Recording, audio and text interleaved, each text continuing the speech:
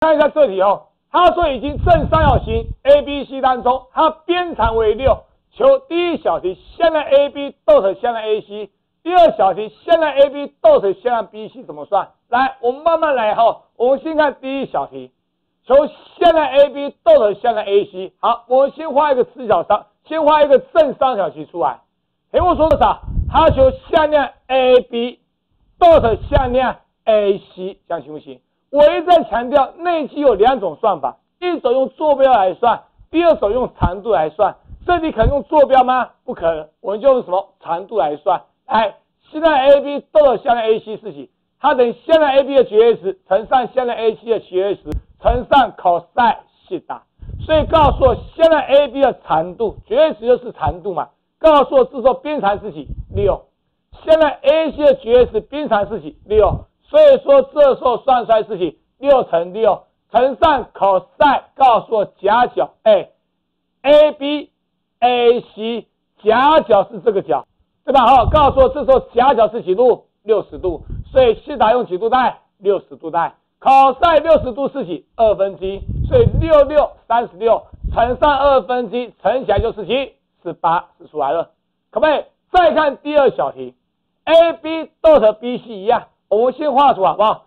向量 A B 逗特向量 B C，这样行不行？这 A B B C 一样，它等于向量 A B 的长度乘上向量 B 的长度乘上多少？cos 西塔，这样行不行？哎，老师问你，向量 A B 的长度是几？六。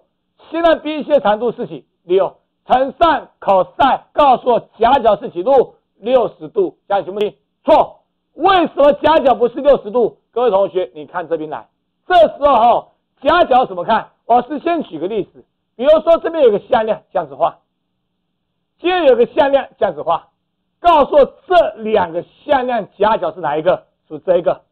但是如果说我今天把向量，把这一条，把向量画这来，这条向量。这两向量基本上大小一样，方向也一样，行不行？我再画一个向量，我把这向量画到这里来。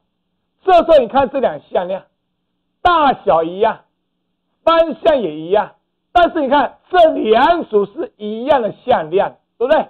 对吧？这两组彼此一样嘛？你看一下，这里这样画，这个叫夹角，那这个叫夹角。老师问你，这样合理吗？所以说，老师想请问一下。这时候两组一样向量，既然夹角不一样，合理吗？一个在这边，一个在这边，所以说我们在向量里面为统一夹角，我们强调算夹角时头一定要头 A B A C A B A C，这才叫夹角。从头出发，这个和这个这才是夹角，而这边这个和这个头和头。起始点有没有接到？没有，所以说我算算向量夹角是有个条件，起始点地方要接到，好不好？A B A C，这才叫夹角。这起始点在这，这起始点在这，这两个起始点有没有一样？没有，所以说这是夹角吗？不是，那怎么办？我一再强调，我向量强调是大小和什么方向，位置强不强调？不强调。所以说我把这组向量往前平移到这里来，大小一样，好不好？大小一样，方向一样，起始点接到了，这个才叫夹角，这样了解是意思啊？所以说回头看这边，好不好？我先把这清掉，你看这边向量 A B，向量 B C，起始点有一样吗？不一样。这从 A 出发，这从 B 出发，一不一样？不一样。所以说这是夹角吗？不是。所以说，把向量 A、B 好不好？往前方平移到这里来，可不可以？这才是的。你看这两向量大小一样，方向一样嘛，它是一样向量，行不行？这时候这个地方才是夹角，所以夹角是几度？一百二十度，这样行不行？cos 一百二十度是几？负二分之一。所以说把它怎样乘起来？乘起来当然是几？负十八，这样行不行？但是这样算哦。有一个风险性在，因为不是每一次算夹角都这么好算，好不好？一看就知道是一百二十度。